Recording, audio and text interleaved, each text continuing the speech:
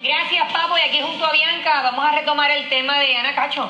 Ha sido bien el clave todo el cambio que ha dado el caso de Ana Cacho y lo que se refiere al asesinato del niño Lorenzo.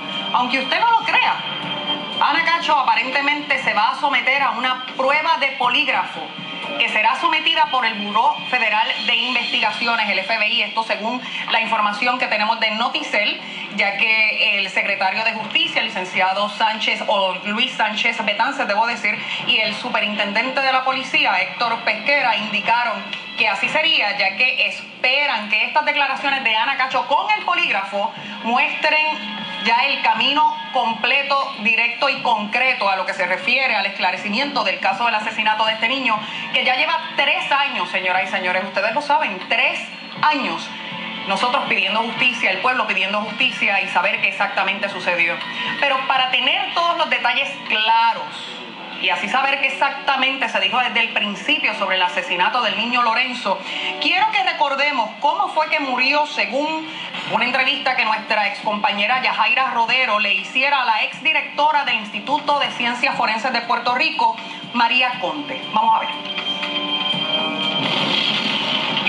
Lo que hubo fue un niño que fue que murió eh, sí, a manos de otras personas, que no es una caída, que es un niño que otras eh, personas, otros, otros seres humanos le quitaron la vida, mediante la utilización de un objeto contundente y un arma blanca. Establecimos que es un cuchillo, entendemos que eso es una opinión que no tiene margen de error y un objeto contundente.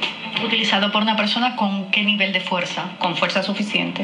El instituto tiene las respuestas. Lo que pasa es que el instituto no puede hacerlas públicas las respuestas por temor a que la investigación se dañe, se afecte. El instituto le ha dado esas respuestas a la Policía de Puerto Rico y a la Fiscalía.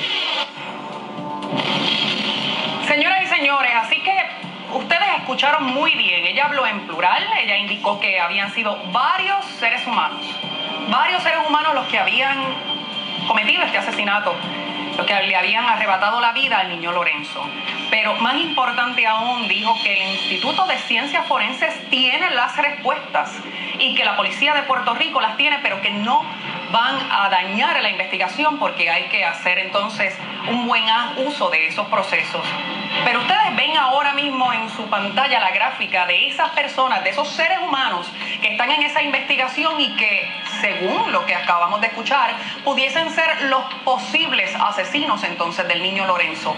Ana Cacho, William Marrero, Arnaldo Onaldi, como se le conoce, Colón, o Genaro Camacho. No le estamos diciendo andando candela, se dijo en esta entrevista, aparte de todo, es parte de la investigación.